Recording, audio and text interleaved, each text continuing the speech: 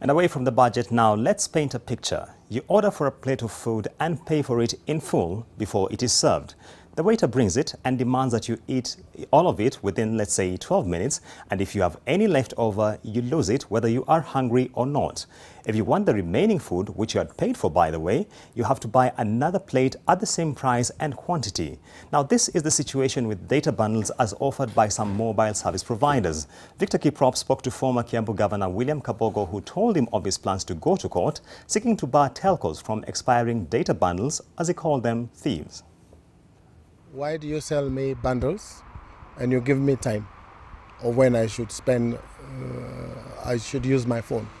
A question that many Kenyans are keen to hear telecommunication companies respond to.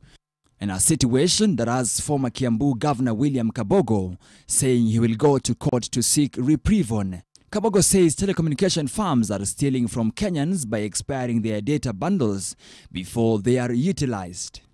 Why would they sell us bundle and tell us it expires? Yeah?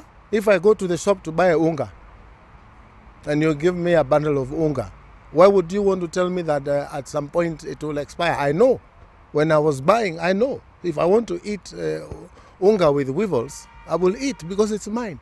In some scenarios, one has a fixed duration to completely use their data bundle or lose what is left of it. To activate the remaining data, they would need to buy an equivalent amount as the previous purchase. But in the case expected in court in the next two weeks, Kabogo argues that if data bundles must have an expiry date, then they should at least have an option for renewal. I have bought, it is mine. If you want to tell me it expires, then allow me, if I want to reload 100 shillings, it revives the old one. Why does it expire and go where? In South Africa, new regulations which took effect in March allow users to roll over unused data before the date of expiry or transfer the data to someone else on the same network before they expire. Kenyans are being robbed unaware. Yeah. When you pay a thousand, you should use a thousand. And if it doesn't expire within the month, they should renew it when you add a little more money.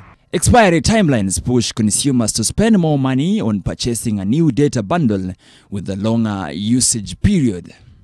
Victor Kiprop, and TV Business.